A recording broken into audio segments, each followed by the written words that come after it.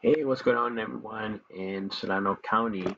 Uh, this is Leo coming to you from Fairfield here in Solano County. I just wanted to do a recap in this video in reference to what happened, right, in this action that we had uh, today, January 21st.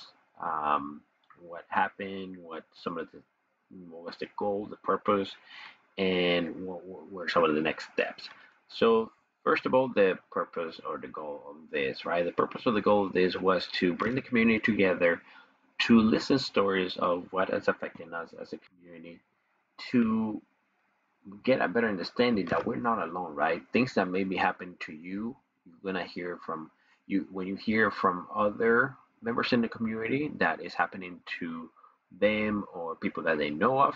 You then get to you then get to understand that you're not alone that similar situation happens to other people. And so coming together working together towards a solution is a much better way to go about than rather than just um, complaining um, drinking trying to forget or using drugs trying to forget right? Actually taking steps towards um, solution. Doesn't have to be big step a small step just showing up is much better than don't doing anything or even worse, right? Um, doing things to try to forget or get away.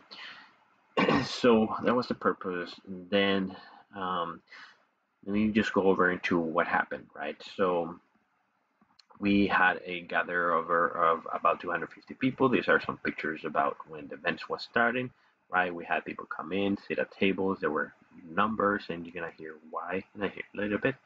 Then we had the um, we had several candidates from Solano County Supervision Supervisor uh, come on to the stage, as well as uh, Mayor of Vallejo and the Chief of Police of Vallejo, and members of Common Ground. So what happened here at the stage, the first section, obviously we had some performances from political group, like you can see here, from a choir.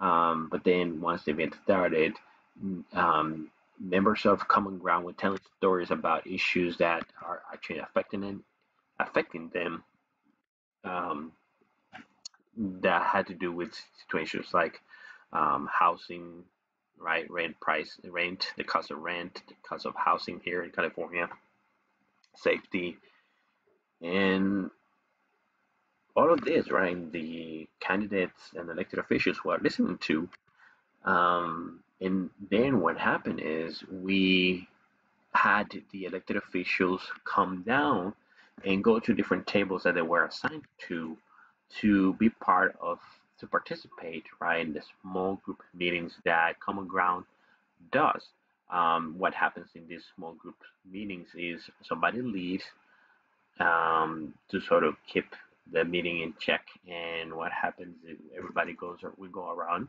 we tell stories about what's affecting the community, and we keep notes of those stories. Now, these small group meetings are not the time to find solutions. They're not a time to be gossiping or, um, um, you know, trying to um, discuss more in depth about a situation. It's just more about sharing the story of what's affecting even the elected officials and candidates had to participate, right? They, they had to tell their own stories, what what what is what is affecting them in in their community.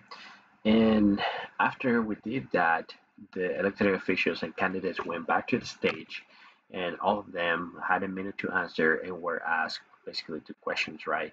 Um, what what the what was the experience um, of them going through that process or exercise of a small group meeting and listening to stories.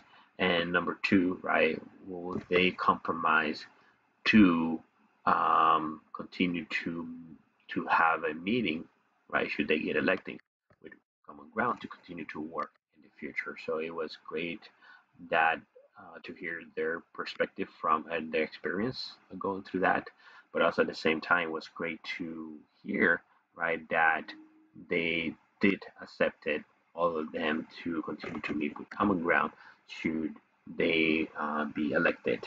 Um, the elections are coming up in March.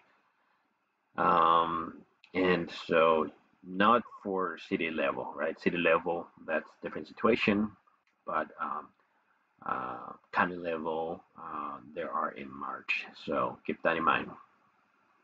So that's all that I wanted to share. Next steps is obviously we have either we have obviously we have to continue to work in reference to um, meeting with these leaders, right, and candidates. And however, in February, early February, in February 4, there's going to be a, a, parent, a leaders meetings from Common Ground in Fairfield. Um, and if for those of you that are interested, let me know. That's going to be in the afternoon around 6.30, more than likely in Holy Spirit, but we'll keep you posted. Um, so if you're interested on attending these uh, leader meters, leaders meter for Common Ground, let me know.